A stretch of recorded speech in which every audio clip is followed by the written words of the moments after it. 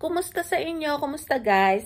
Sana nasa mabuti kayong kalagayan. So dito naman sa video na ito, dahil nasa New Jersey na rin kami, nakakita na ba kayo ng um, mall or familiar ba kayo doon sa mall na meron na siyang ski resort, tapos meron pa siyang um, yung pool resort, something like that, water water park, pool resort, water park, tapos meron siyang mga rides, tapos may aquarium, may ice skating, ano pang meron doon?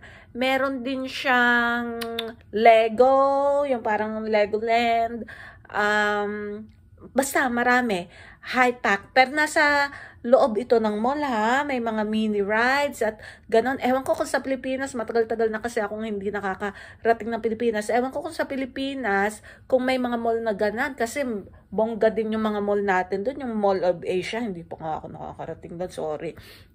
Pero sa nabalitaan ko, napakaganda nun. Or somewhere siguro sa Asia, may ganitong concept. May ski resort siya. Pwede ka mag-ski. Naku, panoorin nyo to guys. Na-amaze lang ako. Kaya gusto ko rin i-share sa inyo. Uh, sana ma-enjoy nyo itong video na ito. Enjoy! So dahil nga nandito na rin kami sa New Jersey, pununtahan na namin itong world famous The American Dream Mall dito sa East Rutherford, New Jersey. Dito kami kaagad na papunta sa luxury brands nila. Naku, mukhang mabubudol yata ako dito. Maraming sale dito, 70% off, pero hindi pa rin pasok sa budget ko. So, tingin-tingin lang kami. Talaga namang sosyala ng mga tinda dito. Lahat ng mga malalaking luxury brands nandito na. Ito yung men's section. Nandiyan na yung mga Gucci, uh, Givenchy, tama ba yon Versace, yan, nandyan na yung mga brands na yan. Talaga napakaganda naman talaga ng mga tinda, pero ang presyo maganda rin, ano? Itong Gucci na ito, napakaganda for men. Ang gaganda ng mga loafers nila. At mind nyo guys, this time, 70% off sila. So, yung mga mahilig sa luxury brand dyan, dito talaga sa American Dream Mall, marami yan. May section na dyan sa may Saks Fifth Avenue na puro luxury brands ang mga tindahan doon, establishment doon.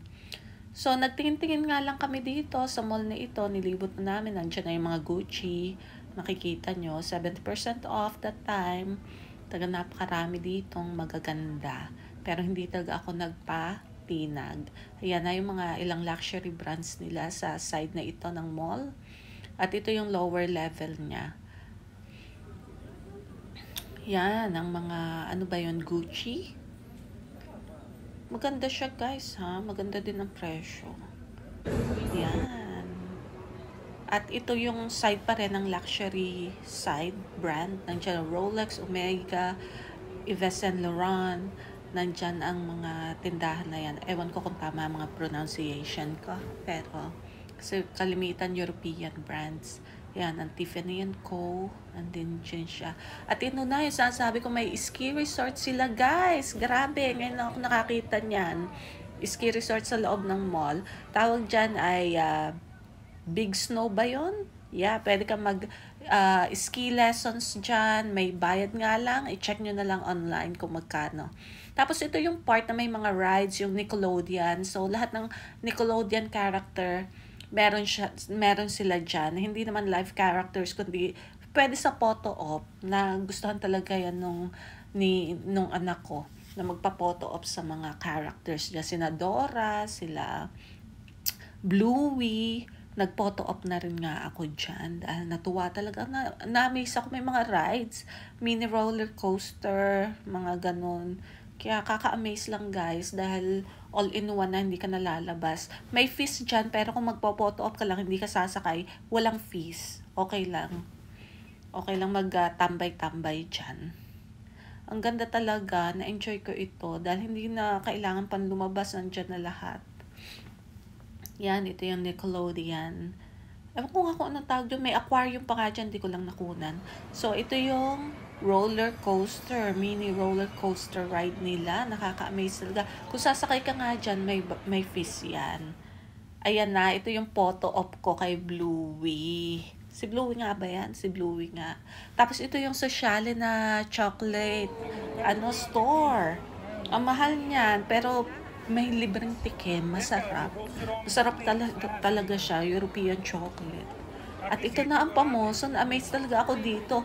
May Jollibee na tayo sa sa food court ng mall na ito na amaze ako. Kakain nga sana kami kaso ang pila napakahaba sa lahat ng mga uh, tindahan doon sa food court doon. Jollibee ang pinakamahaba ang pila. At mind you guys, pa-international na tayo kasi iba-ibang lahi na nakapila doon. Ibig sabihin, nalalaman na nila yung produkto natin Jollibee internationally. So ito pa yung chocolate uh, store, napakasarap niyan ng chocolate na yan. Kaso nga lang, sosyalin din ang presyuhan. So, uh, may libreng tikim naman. Yeah. So, hindi nga ako nakapag-Jollibee. So, dito na lang ako sa Pora. At nabumili ako dyan ng dumpling. There you have it guys. Sana na-enjoy nyo itong video na ito. Hanggang sa muli. Paalam!